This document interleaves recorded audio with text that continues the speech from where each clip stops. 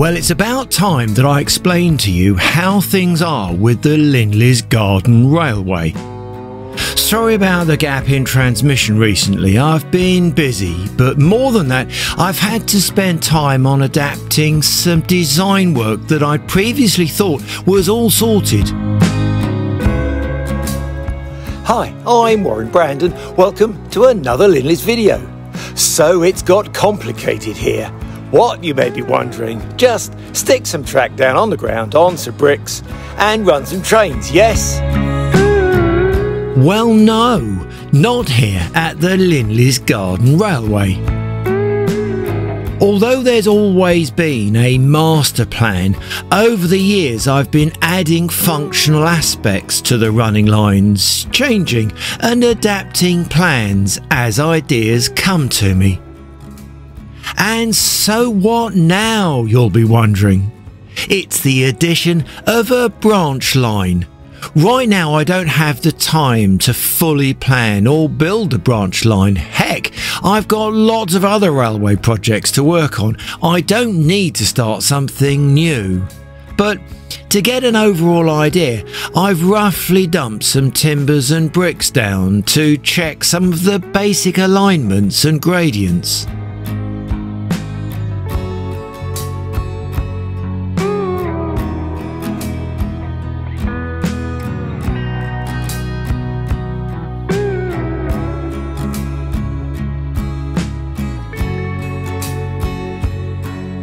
But here's the thing I realised a couple of months ago that if I wanted to add a branch line, I need to make sure that the control system that I'm currently working on has the capacity and flexibility to be adapted to include the branch line.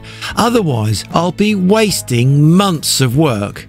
And I like the planning anyway.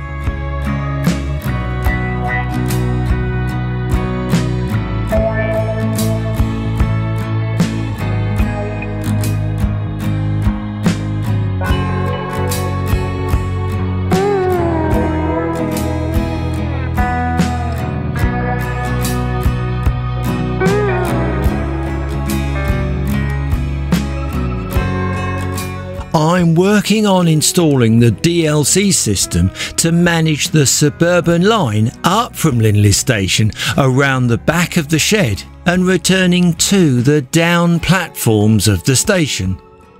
The three block sections included in this line were going to be fairly straightforward, but no, oh no, not now that I want to include a branch line off from around the side and in front of the shed. The DLC system is a major part of the way the railway is controlled.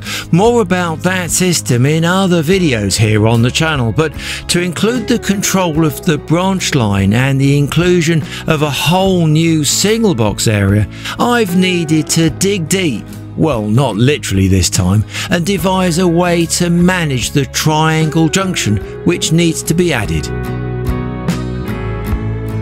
From previous videos, you may have kept up with some of the aspects of my current project on the railway. So here goes, you want to know what the adaptations are. The branch line will be controlled completely from another signal box. The operator there will be able to manage all the train movements on the branch, as well as the entry into and exit from the branch line, linked to the suburban line.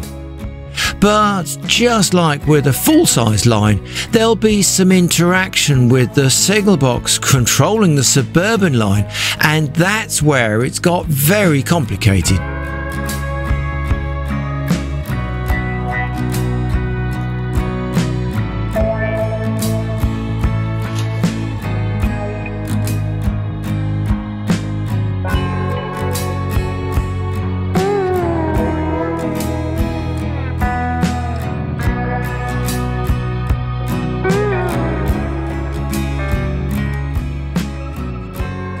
The interlocking control of the points to and from the branch, as well as the signal box along the suburban line there, will be jointly done by the main signal box at Linley Station in partnership with the branch line box.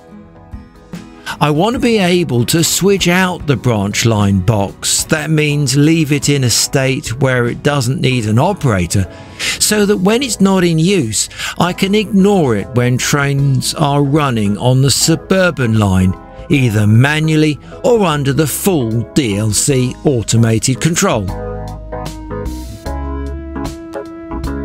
So, after some careful thought and detailed system planning, I found a way to control all the block section signals associated with the lines here and make sure that I can switch out the branch line block if needed.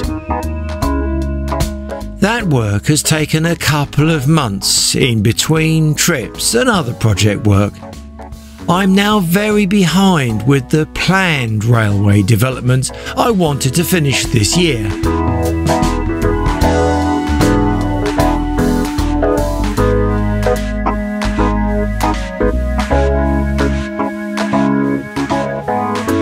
Thank you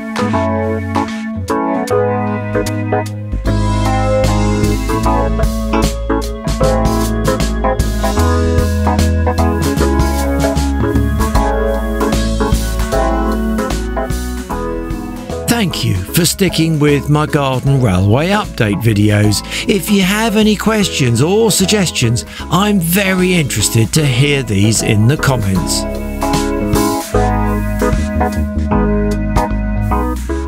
Now that I've got some of these details sorted, I can get back on to the suburban line work and tracks through the Linley station.